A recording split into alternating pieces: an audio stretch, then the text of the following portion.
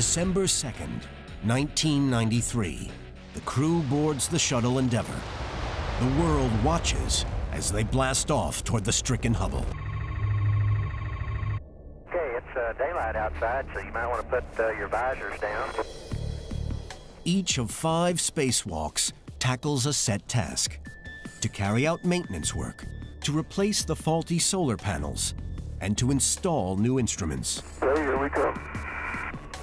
Working in spacesuits and zero gravity isn't easy, but there are some upsides. We were moving around pieces of equipment the size and the shape of a grand piano. No way could I have moved that around on the Earth. Uh, you know, you feel like Superman up there. They fit the new correction device successfully. But not everything goes smoothly. One of the faulty solar panels is too warped to roll back into its original holder. The astronauts jettison it into space.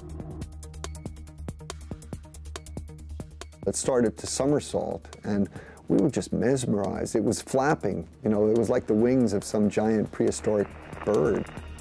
But the most challenging surprise comes as Hoffman tries to close one of Hubble's equipment bay doors. It's not closing. The doors aren't closing right. Like if I'm just doing it at the top, I can get them to come together. This was something we had done dozens of times underwater. But when I went to close them, oh, they didn't, it didn't close right. The effects of zero gravity have deformed the door. If it isn't shut, the telescope won't be optically sealed. All future observations will be ruined. It was a potentially fatal problem. You'll basically lose the telescope. Another astronaut joins Hoffman at the door. Between them, they can hold it closed, but then neither has a free hand to lock it shut.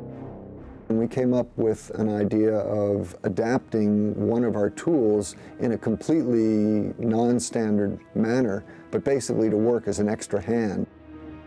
Their plan is to hold the door shut with a strapping device, leaving them free to close the locks.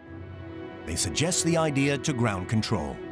I think they had visions of us wrapping this tool all the way around Hubble and, and cinching it down, and Hubble was going to collapse like an aluminum beer can. Finally, the, the flight director, I think, made a good call. He said, look, team, we sent these people up. They can see better than we can. Let's let them go ahead and, and do what they think needs to be done. The plan works. Mental ingenuity and some old-fashioned elbow grease get the door sealed. Hoffman's team returns to the shuttle.